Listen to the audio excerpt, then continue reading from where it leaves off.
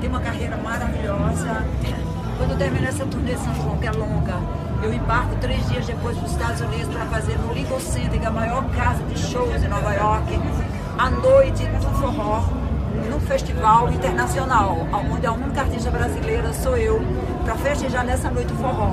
Isso é uma vitória muito grande da nossa cultura. Se vocês assistirem a propaganda, eu fico assim vendo só aqueles tops dos tops americanos, de repente dia 9 de julho, Elba Ramalho, na noite do forró brasileiro. Isso é a vitória da nossa cultura, é pela força da cultura. Isso está acontecendo na Alemanha, na França. É, as pessoas estão descobrindo a importância, a diversidade que existe na música brasileira. E o Nordeste se coloca como o topo né, dessa, dessa história do Brasil ser tão cultural. E o forró é uma coisa muito hoje, muito amada. E muita gente hoje. Hoje, tem oxente, hoje só tem forró e oxente. Vamos se divertir, cantar umas coisinhas minhas, dos outros. Vamos passear não só o São João de Caruaru, mas todos os São Joões merecem ver Elba Ramalho, mulher que pique, acabou de vir de gravatar, todo mundo comentando do show de lá. Como é que faz? Tem receita pra gente? Vai ter muita dança aí? Aqui eu vou dar, é, gravatar eu fiz com a banda base, mas não temos bailarinos. Aqui tem os sopros, aqui tem os bailarinos. Ontem eu fiz o galo, né, o forrozão do galo em Recife.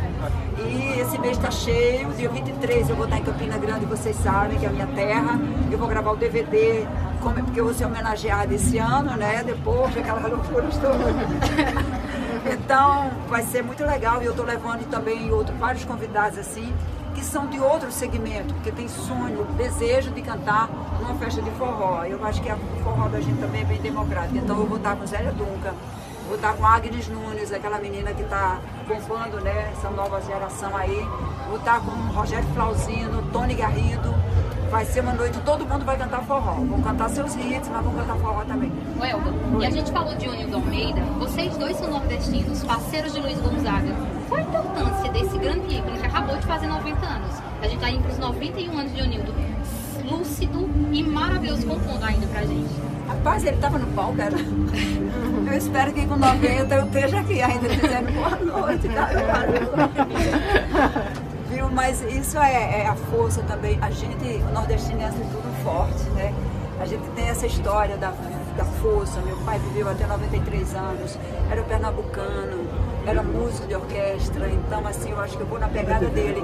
Até uma hora que também eu sinta que, é, que eu não consiga mais fazer a minha arte com dignidade, aí eu vou parar. Mas enquanto isso, a gente está aqui, porque a gente, né, é a nossa festa, afinal de contas, a minha, eu me firmei no Brasil por ser forrozeira. Num tempo em que ninguém conhecia direito o forró. Eu digo assim, já tinha Gonzaga, já tinha Jackson, mas eu acho que eu fui assim uma pessoa que abriu muitas portas no Rio, lotar o Canecão três meses, grandes casas de show do sul, fazendo a minha arte e conquistando as pessoas.